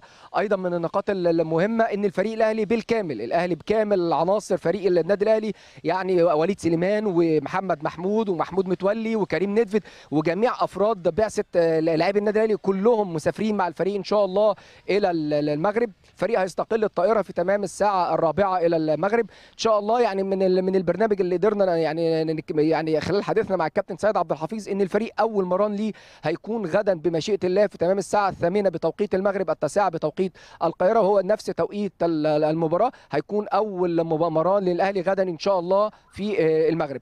بكل الطموحات بكل الأحلام محمله للاعبي النادي الأهلي اللي أنهوا المران اليوم منذ لحظات آه، دقيقة يعني لحظات قليلة أنهى الفريق المران اللي يعني غلب عليه الجدية والندية والتركيز ما بين اللاعبين والروح الجميلة. يعني من ضمن كلام اللاعبين مع بعض في الملعب يا جماعة عندنا ماتش مهم جدا كمان خمس أيام كلنا نركز في هذه المباراة. إن شاء الله لعيبة النادي الأهلي وفريق النادي الأهلي وبعثة فريق النادي الأهلي طبعا اللي بيرأسها الكابتن محمود الخطيب ترجع لنا إن شاء الله بالبطولة العاشرة. وزي ما أنت قلت يا كريم وقالت نهاد إن شاء الله يوم الأحد نحتفل ونقول صباح العاشرة بمشيئة الله صباح النادي الأهلي. وصباح النصر. نورتنا وبنشكرك جزيل الشكر زميلنا العزيز فاروق صلاح وإن شاء الله زي ما كنا بنقول من شوية أنا ونهاوند توصلوا بالسلامة إن شاء الله طبعا الفريق والبعثه بالكامل توصل بالسلامة وإن شاء الله يرجعوا لنا سالمين غانمين نشوف كوره حلوة. كمان دي أهم حاجة. آه هنقول هنقول بإذن الله بس الله. يعني عايزين كمان نشوف كوره حلوة وده أكيد واثقين منه الحلقة النهارده خلصت خلينا يعني نمشي دلوقتي ونجي لكم بكرة إن شاء الله وحلقة جديدة و10 الصبح